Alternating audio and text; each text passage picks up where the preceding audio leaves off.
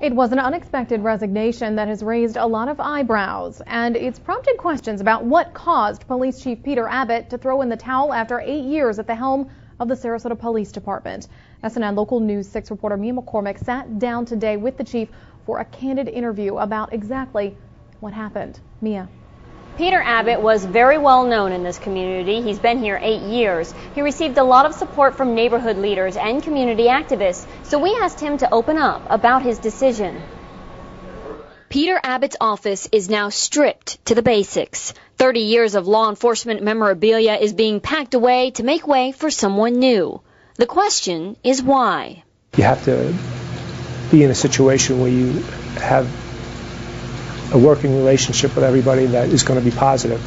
Tuesday morning, Abbott met with city leaders to discuss police management issues. In December, city manager Robert Bartolotta gave him six months to come up with a plan to engage the community.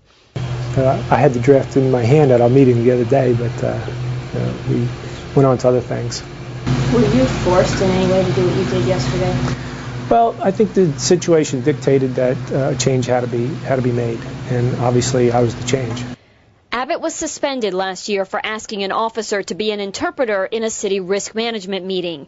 He realized the mistake, then apologized publicly. He came to Sarasota in 2002 after 22 years in the New York City Police Department. 9-11 is his most memorable day on the force. The tough streets of New York helped Abbott see issues that threatened our city, issues others tried to keep quiet.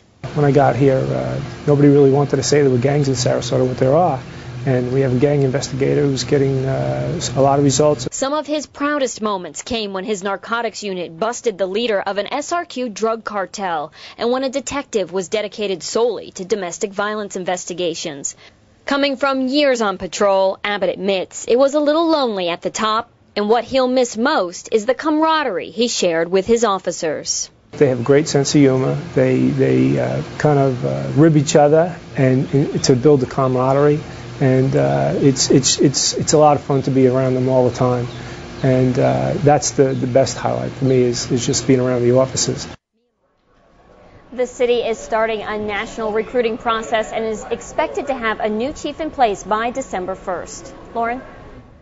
Mia, as you mentioned, he, he did get a lot of support from the community, and this came as a surprise to a lot of people. Did he talk at all about sort of what the reaction has been and whether people have uh, reached out to him, what they're saying to him about all of this? He did say that his phone has been ringing nonstop for the past two days. There are a lot of people that are asking him why he made this decision, but uh, he feels that it's the right decision right now for him, and he's moving on, moving forward.